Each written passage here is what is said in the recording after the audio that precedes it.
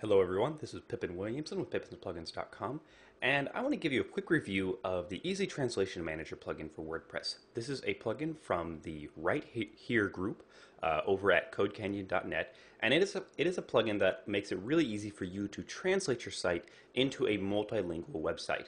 So you could easily translate it into Spanish, Russian, Chinese, English, etc. All these different languages and you can pr provide your users ways to switch between what language is displayed. You can auto detect what, which language their browser is using and then display it appropriately. Uh, there's a lot of things that you can do with this plugin that makes it really, really cool. So anyway, I'd like to walk you through the plugin really quickly. Once we have it activated, we have a new section over here called ETM settings for Easy Translation Manager settings. And the first thing that I want to point out is that their welcome screen is really, really nice. Uh, one thing that I like about it a lot is they have followed the design and the layout of the new WordPress 3.3 Plus welcome screen. When you update WordPress or freshly install WordPress now, you see a, a welcome screen that looks very similar to this. And I really like that because it helps keep within the core WordPress styles and layouts, etc. This welcome page also goes through and describes some of the basic uses of the function of the plugin, some of the main features, the, the ways that you use it, and also support for uh, a few other things as well. Now, what we have underneath our ETM settings is plugin translation, theme translation, page translation, post translation, menu translation, and options. So there are several different sections. First of all, there's a section for translating your WordPress plugins. So through this plugin, you can actually go in and translate plugins into any language you want. Let's say that you have a plugin that you really like, but unfortunately it has not been translated into your particular language, whatever that may be. Well, through this plugin, you can actually go in and translate all of the text in that other plugin without ever modifying the, that plugin itself. And then you can that new plugin that you just translated will be displayed in your language. You can do the same thing with themes. You can also translate your page and your post content. And one thing that's really, really great about this is that it has complete support for custom post types as well. It hasn't neglected to just ignore those. We also have the option to translate menus, which is really, really nice. Um, the menu translation is something that a lot of translation plugins leave out, but this one is done quite well. So let's go and take a look and see how this general interface works. When we go to a section, let's go to plugin translation first. We're given a list of all of the plugins on our website. And I believe this is both active and non-active. And it will show you a couple of things. First of all, it'll show you the title, the folder that the plugin's stored in, the author, the version, and how far translated it's been. We can just right click over and go to all of the other plugins, just paginated like this. Um, and so we can go into any individual plugin, and let's go to Easy Digital Downloads, and once we're in one of the plugins, we can now see all of the strings that we have ready for translation. So we see all of these different text strings that are ready to be translated. And we can see over here whether they have been translated. And I have the, the languages Russian and Spanish enabled. So when the flag is highlighted or not grayed out, it means that this has been translated. This one, for example, has not been translated. And if we decide to translate it, we can simply click on it. A little modal will pop up, and we see here's the original text, and then we type in our translation. And once we do that, this is the translation, we simply click Save. And it's all, all done via Ajax, and it's going to tell us it's been saved, and now that translation has been saved. So that's really cool. Um, and the same thing applies to both plugins and themes and then page and post are slightly different. So let's go and take a look at those. Let's go to page translation first. And first of all, you'll see that this just lists all of the different pages that we have. So let's go to a page first. And once again, we just click on the flag that we want to translate it into. Now this is really, really nice because what this has actually done is given us a complete rich editor for translating our content. So first of all, we can change the title to anything we want. So we'll just call this Spanish title. And then say this is the Spanish content. I used to know Spanish pretty well, but I kind of lost it since college, so we'll just pretend that we're typing in Spanish. And one thing that's really cool here is that we can actually not only change the translation of the content, we can completely change the content. So you can go into HTML mode, visual mode, you can add images to individual translations. It's really, really cool. Um, we also have the ability to simply copy the text over. So it'll take it from the default and copy it over to the new translation. And maybe that's for if you're only doing a minor translation. We also have an extra section where we can actually go in and translate the excerpt as well as media alternate text. And we can change the permalink for this the other translated item. So you can see this is the original permalink here. This is the URL for this. But if we wanted to, we could say a Spanish page instead. And now, when this page is accessed, instead of going to slash WordPress slash a page, it's going to go to WordPress slash a Spanish page. And that's really cool. Let's go take a look at posts now.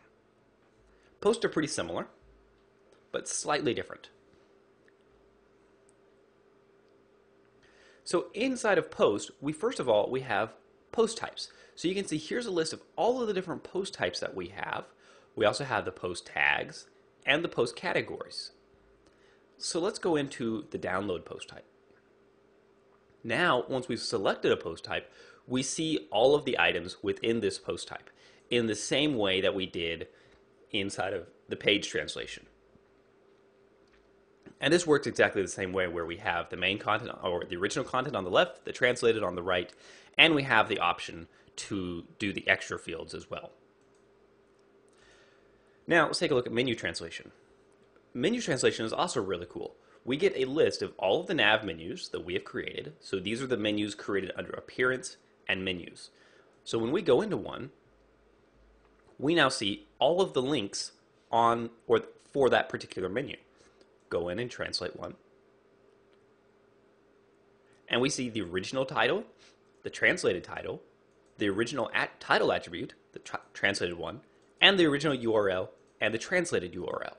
So the translated URL is really cool because you could, there's a variety of things you could do. One thing, if you wanted to, you could actually pass URL parameters, like you see I have here, uh, question mark test, and you could use those for a whole variety of, of, of tasks. One particular thing that I can think of is that if you wanted to, if you were into this, you could actually track uh, the language that people view your site in.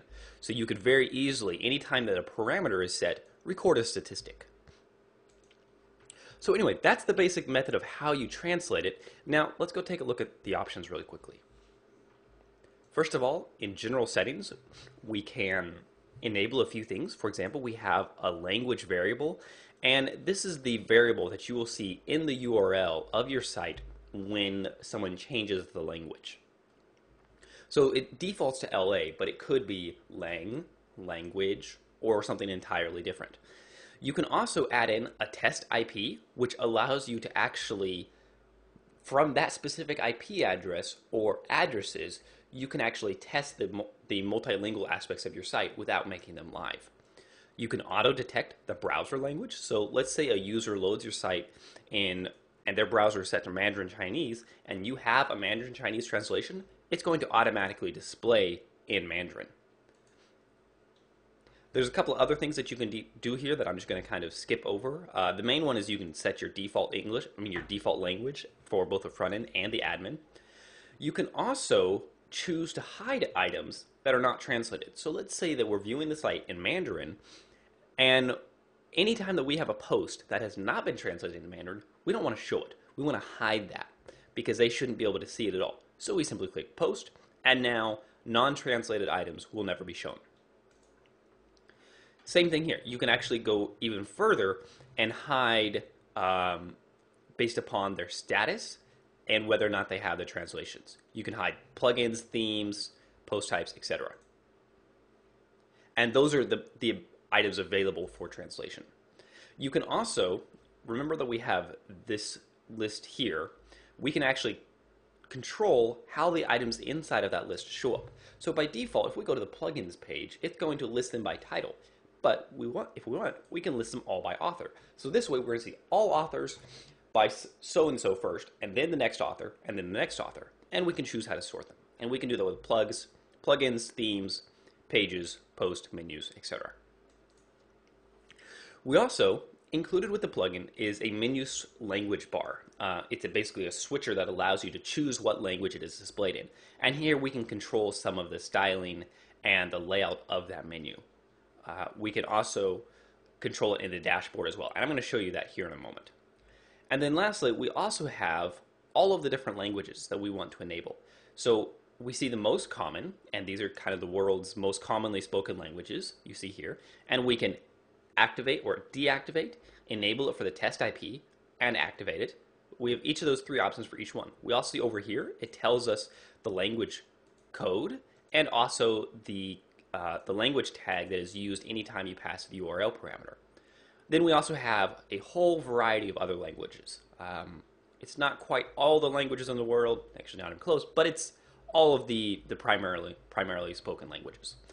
So now let's go over to our dashboard for a second.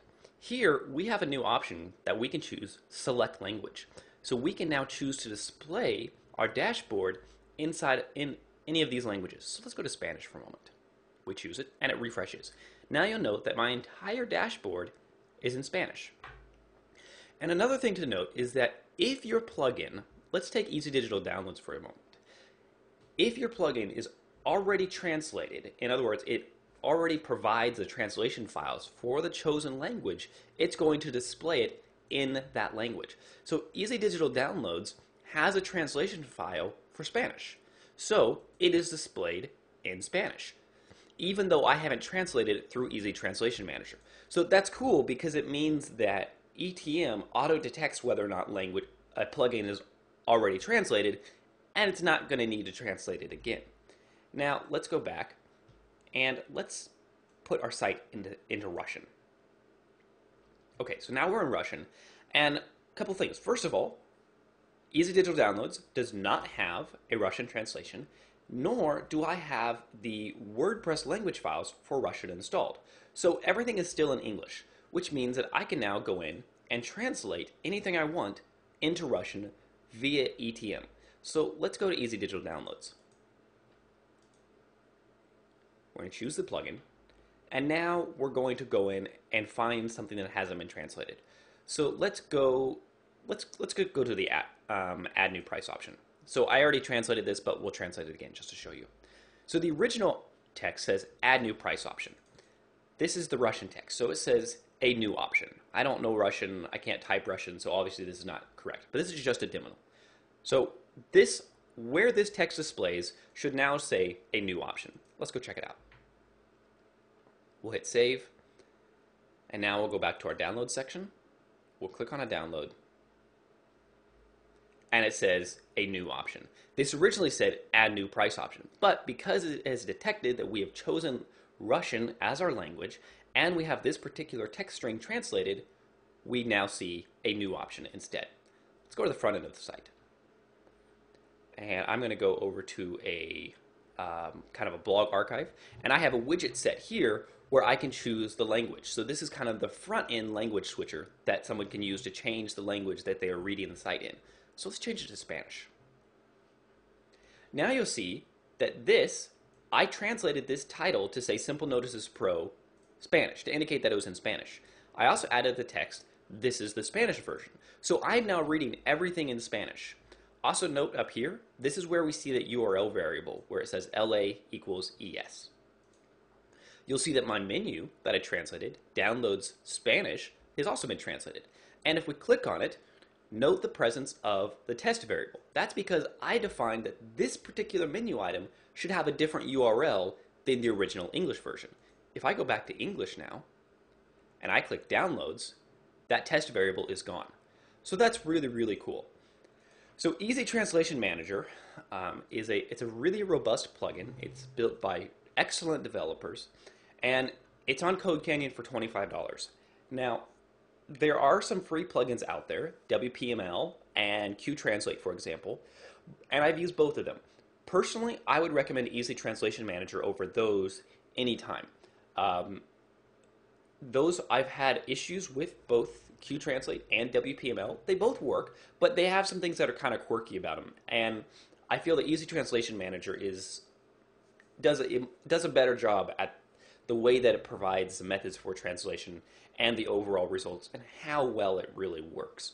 Um, you can always trust plugins from right here. They are a phenomenal group of developers. I've had the chance to personally meet uh, the primary guy in person. Um, his name's Richard. He's a great guy.